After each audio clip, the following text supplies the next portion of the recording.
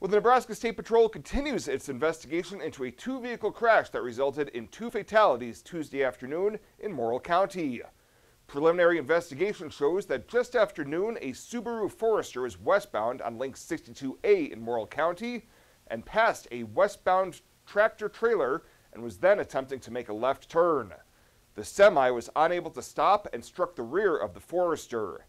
The two occupants, identified as 74 year old Joyce Glaseman and 75 year old William Glaseman, both of Lincoln, passed away as a result of the crash.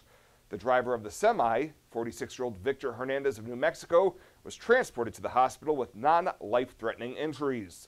The crash remains under investigation, and the Morrill County Sheriff's Office, Morrill County EMS Bayard Fire Department, Bridgeport Fire Department, NDOT, and NSP all responded to the crash.